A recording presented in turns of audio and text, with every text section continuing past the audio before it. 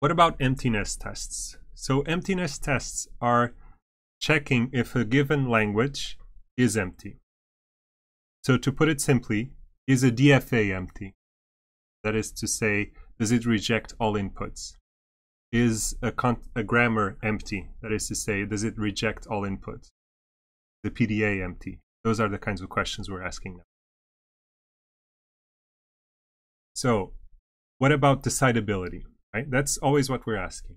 Is testing the decided is testing if a DFA is empty decidable or not?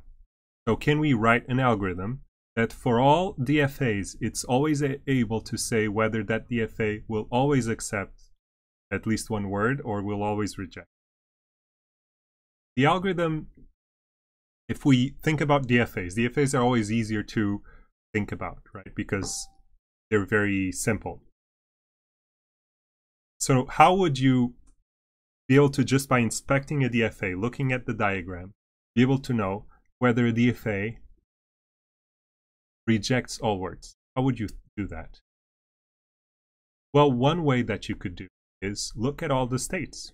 Do you have any uh, accepting states there? If you can see with your eyes any accepting states, then it will accept at least one word. Right? There is a path, if there's a path from the starting node until the accepting node. There's at least one path, there is at least one word that is accepted. You could have loops around it, which means you could accept more. But if there's a path, that means there is a word, at least one word that is. accepted. So emptiness would mean that the DFA would have to reject everything. So there is, is simply a DFA that has no accepting states.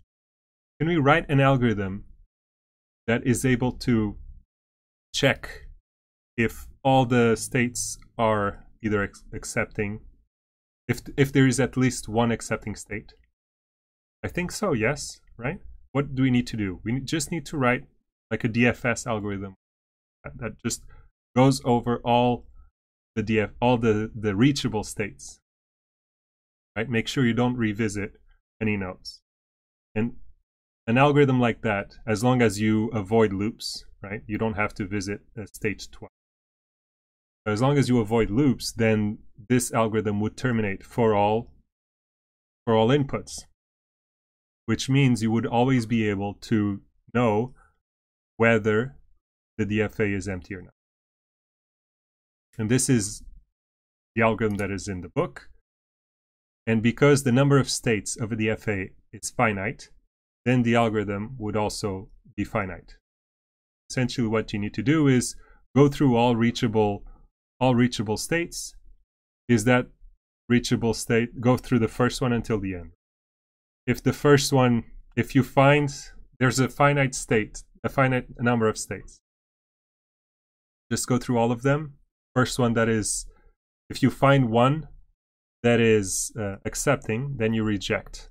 Say no the dfa is will accept something so it's not empty if you go over all states and none of it are accepting, then the whole thing is empty. Reject all strings. So the, the algorithm is trivial and terminates for all input because all states are, all DFAs have a finite number. So this is an example of an implementation, how you would do.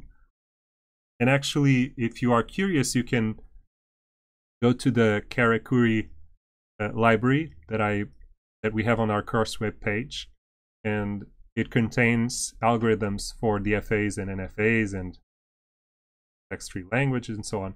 But if you go to the module regular, you will find this algorithm that checks if a DFA is empty. This is implemented in Python. Hopefully you are not you are familiar with that. This is an example of an algorithm and as you might imagine, the number, if you are visiting all nodes, eventually you will visit it. Since you have to go through all nodes, eventually it will terminate. So this loop will terminate, and then this is a, a bounded loop, which terminates, and therefore the whole thing. And it always returns true or false. You would have then to make the argument this always returns and only if empty. So what about a context-free grammar? Can we always know whether whether for any context-free grammar that context-free grammar empty or not? So this is the algorithm that is in the book. The idea is again to look at the grammar as a graph. And then you have to find basically if you have loops, basically if you can find a terminal, that means you can accept at least one word.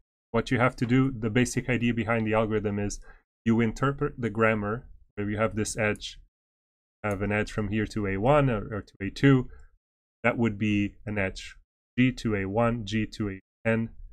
So if you can represent, so there is a way to represent the grammar as a tree. The basic idea is not, sorry, not a tree. It's a graph because you can have backwards.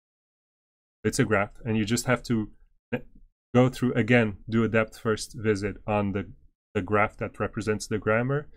And if you can find any terminal, that means that um, the grammar would produce at least one terminal.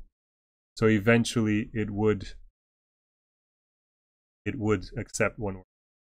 And if that's the case, then reject it otherwise. So the next video we're going to talk about equality tests.